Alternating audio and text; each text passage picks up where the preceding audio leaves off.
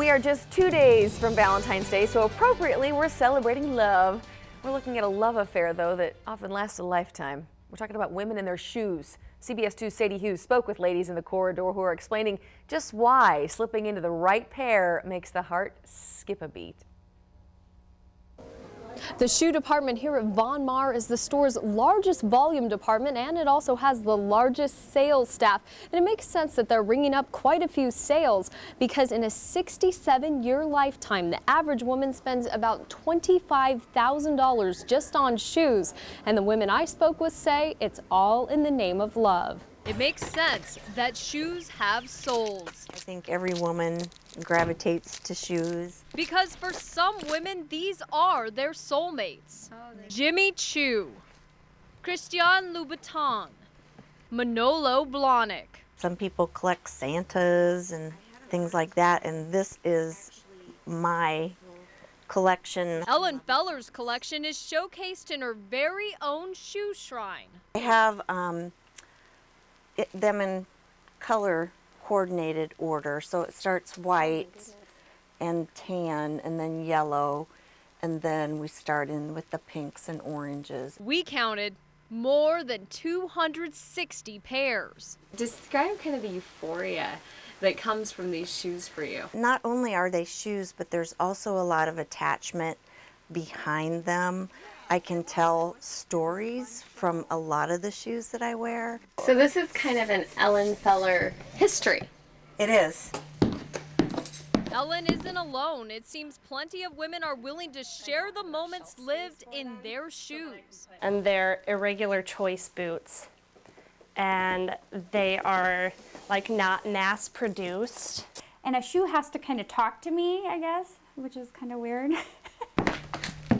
when I get them, I get really, really excited and happy, and I bring them home and do my catwalk. St. Luke's therapist Cynthia Vasky says when women shoe shop, chemistry is at work. The dopamine gets triggered, and then it lowers your anxiety, and it allows you to enjoy that process. Plus, psychology. People notice your shoes, and that's fun and exciting, and it takes away that whole focus on body and body image and size. Because when it comes to shoes, size doesn't matter. I think it's the one thing that you can buy that you're usually always the same size in. And sometimes neither does cost. They see a shoe and it goes with an outfit, they want it. When it comes to the choice between putting on a pair of flats or a pair of heels, the flats are often considered, well, just more comfortable. But a recent survey found that 60% of women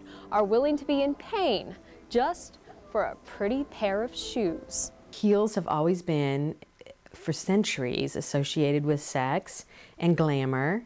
And um, so that's where it comes into play with the self-esteem is you just feel more confident in, in high heels. Right here we have a couple pair of Kate Spades and some great spring colors. And what about all those shoes that women seem to let pile up?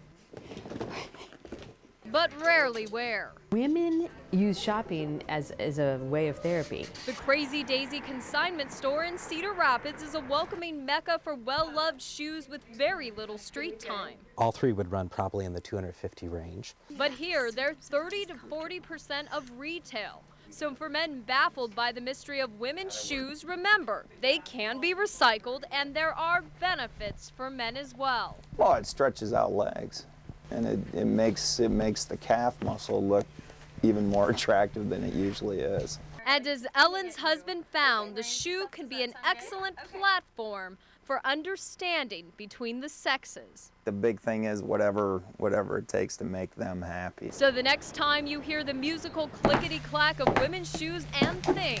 Women just love shoes. Remember, there are reasons for the passion, for the link to the soul. 14% of women hide their shoes from their partner, and even here at Von Maur, sometimes they're asked to keep the box so it's easier to hide those shoe purchases. Hopefully, after this story, there's a little more understanding on why women love all of these shoes. We're covering the corridor in Cedar Rapids. Sadie Hughes, CBS 2 News. Did you see yourself in there somewhere?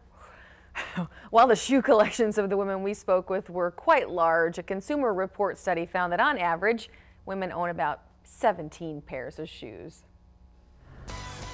Well, these girls are wearing sneakers and they're quite comfortable in them. Next on sports.